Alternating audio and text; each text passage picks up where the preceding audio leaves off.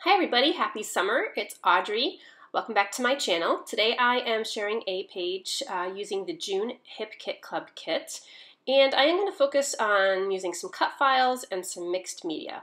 So first I'm going to be using some of the items that come in the color kit this month. So we have two shimmers, uh, creamies I think they both are, and um, uh, spray mist as well. I do not remember the names of the colors. You could probably see them there on the screen if you pause the video there for a second.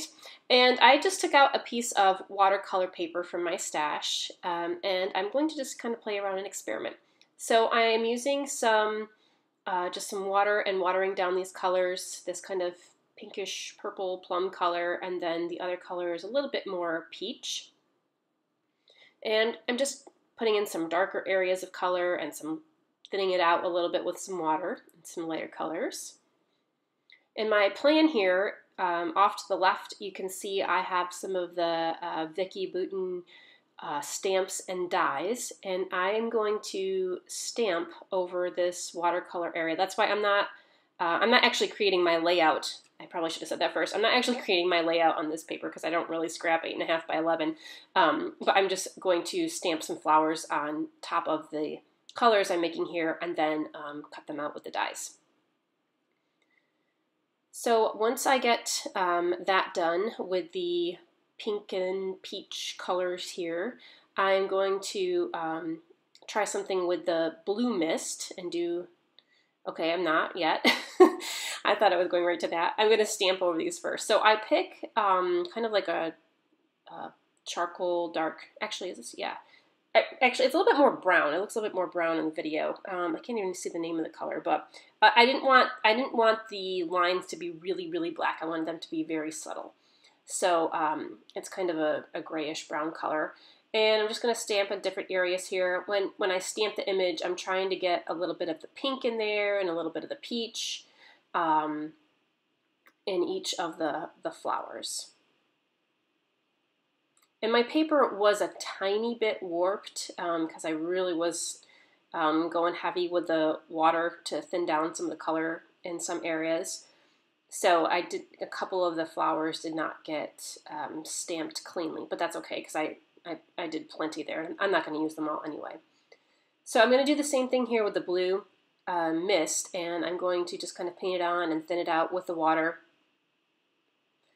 and I, I was going to stamp the flowers in the peach and the pink, and then um, there are some leaf leaf stamps um, that I was going to use for the blue, but I decided that I needed to add another color to the blue. They just couldn't be all blue. So I am going to go in with um, a little bit of teal here, maybe. And this is just, this mist is a mist from my um, stash. Actually, it's kind of a, it's more green than it is teal. It's an old Studio Calico, Mr. Huey I can't, I think it's called Water Cooler. So it's kind of a greenish um, blue, but I like the way that that looks with the, with the dark blue there. Adds a little bit of lightness. So I'm going to kind of fast forward this part here because it's just really me, um, you know, putting on some more color here, adding a tad bit of yellow. And then I wasn't really sure about the yellow, so I'm going to start um, another area with just going back to the blues and the greens. I thought the yellow was kind of too dark um, compared to some of the other yellows that I had um, that I was going to be using in my papers and stuff. And I also I, I, went through the blue with the blue first here, as you saw, and then um, dried it with my heat gun, and then went back through with just uh, another layer of blue. And I like the little kind of depth that that gives. A few splatters, and now once these are all dry, I am going to take um, the pink part and cut it out. And I'm going to use the dies that fit the flower shapes. And I do not have a magnetic base. That has got to be one of my uh, next purchases for my um, Big Shot is getting a magnetic base so that those pieces stay uh, in place. And especially with the paper being a little bit warped, they're slightly off, but it's no big deal. You can't you can't really tell. Although this is a little bit of a pain. I was trying to, you know, because the flower is a certain shape, I could not match up the small die to see exactly how it fit over the flower shape. I kept twisting it and I didn't think it looked right. And finally, finally I got it to go the right way. So I do this, cut out a whole bunch of these. And then I do the same thing with the blue, except I'm going to stamp these, um, this leaf stamp. And this leaf stamp is very detailed, whereas in the flower stamps, there is a lot of uh, white space. When I stamped with that brownish uh, ink with the leaf, it was just too dark. So I don't actually end up using those leaves that I stamped. One of my goals lately has been to try to incorporate more cardstock into onto my pages because um, I do get the cardstock kit with the Hip Kit Club every month. So I am going to use a piece of white cardstock for my background, and I've cut out this cut file. I think this is the I think this is in the May or June cut files at in Hip Kit Club. Um, that's out of the green cardstock, and then I have the blue cardstock that I'm just going to put down the middle of my page. I tore off the bottom there. And on this cut file, I know it's a little bit off screen, but what I'm doing is you see how there's a straight edge all the way around. I I kind of like to have like the organic rough shapes around the edges.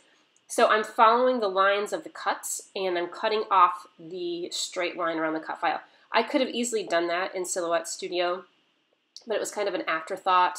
Um, you know, after I had already cut out the whole thing, that I should have cut off the, the straight edge um, to kind of get these nice curves on the corners. So I am going to just use each of these um, pieces I cut out here and kind of use them as a, a frame for each photo.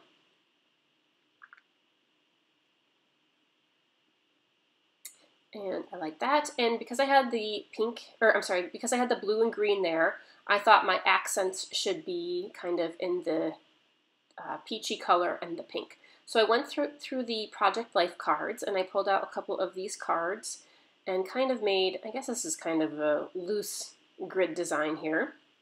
And I'm going to scatter these flowers around to see how they look.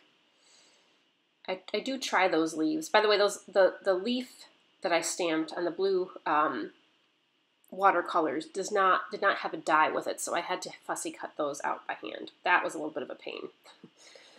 um, I had also cut out this. I wasn't sure if I was going to use the green or the yellow. I also cut out this lemon slice cut file, also I think from June, um, and you know, I had considered using that as my whole background, but I thought instead I would just cut out a few of the little yellow elements and use them as uh, accents. So I cut out a few lemon slices. And here's where I decided to pull out the pink and the peach cards because I felt that there was, I wanted the peach and the pink to be accents. And I wanted those accents to be in the flowers because I kind of wanted the flowers to stand out. And so when I had the pink and, pink and the peach cards down, I felt that took away from the color of the flowers. So instead I went through and found some cards that had kind of a blue base to match that cardstock. So it kind of um, you know, sinks into the background more, blends with the background, and allows the flowers to pop off um, with their color a little bit better. I found um, the bottom picture, there's a little lemon slice die cut there, and it came from, most of the um, embellishments here I'm using are from the Pink Pinkfresh Studio collection that comes in the kit. I cannot remember the name of the collection right now, but it's such such a beautiful combination of summer colors.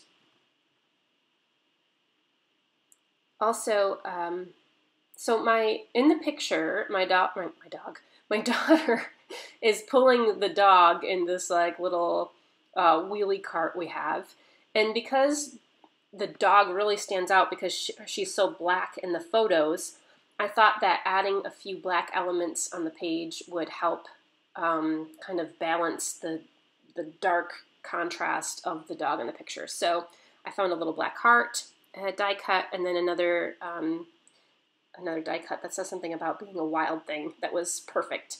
And I put that on the top of the bottom photo. I'm going to add another little yellow accent at the top there.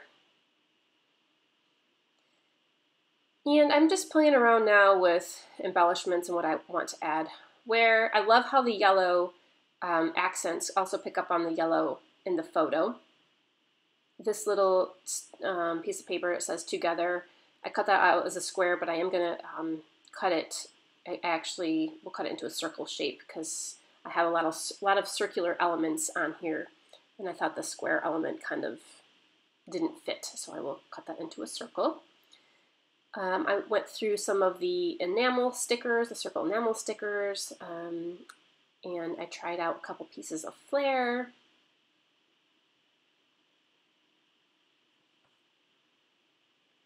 So um, these are some pictures from last summer, and my dog is so patient. She is the most obedient dog I've ever had, and she can be grumpy sometimes. She has she's very possessive of me, but she um, is very very very smart. And my daughter asked, you know, told her get in the get in the get in the cart, get in the cart, and she climbed right up there and she got in. And my daughter pulled her around for a while. I don't know if the dog liked it, but my daughter sure did. okay, so um, I had everything laid out. I was happy with my layout. And then I took everything back off, like I usually do. I glued that piece of blue cardstock down. I'm going to go over it with some gesso to kind of just soften up the, the transition from the white to the blue there.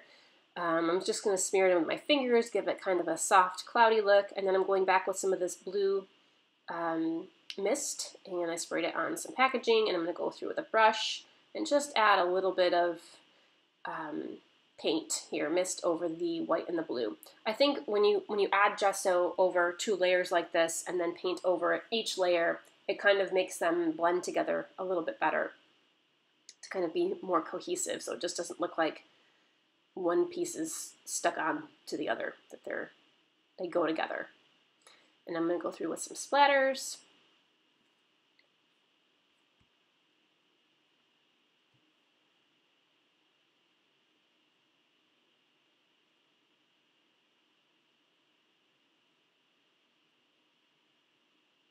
Okay, and so now I'm going to start gluing. I'm going to, um, I glue my cut files down here first, and then I'm kind of, I just put the photo over them to make sure I kind of get them in the right area. Um, and then I went through and put everything back on kind of where I wanted it, and then I'm going to start putting it all together. I put some craft foam on the back of the photos, which I don't know why I don't have that on video, but uh, that's just cheap craft foam I buy off Amazon. And glue those down over the top. I think I glued the cards down at this point, the 3x4 kind of Project Life cards there. And I'm going to go through with um, some foam squares and pop up my die cuts in the bottom photo. And the stickers that I used for the title Sweet Happy Memories, the word memories overlaps the photo a little bit, but because the photo is popped off the page, I have to pop the word memories off the page. So I cut up some foam squares into really, really tiny strips, and I put them behind um, different air, different spots behind the word memories. So really, really tiny pieces. I wish a, I mean, I guess it's no big deal to cut up the pieces, but I wish a company would design really teeny tiny foam squares um, that were much smaller to put behind really tiny bits, but maybe there is already and I just don't know about it. Um, all right, so yeah, the rest is just me putting foam squares behind different things. Um, the number two there, you can see I cut it out in a circular shape. I, I literally just took my um, my glue bottle, or maybe it was a mist bottle, and I put it over and traced it with a pencil, and then I stitched around the edge so it says together. And I love that little pink phrase underneath the bottom photo. It says every wild moment. And just going to pop some of these flowers off. And I think that does it. I do add some journaling there. Um, did I remember to put the date on? Probably not. Um, and that's about it. So here is the finished page. And I really love how this came out. All the cut files and the die cuts and just these colors are, I love, love, love these colors so much. And here are all the little layers. And I'm happy that I used a lot of cardstock on this page. Actually, I didn't use any pattern paper, now that I think about it. So thank you so much for stopping by today, and stay scrappy, friends. Have a great day.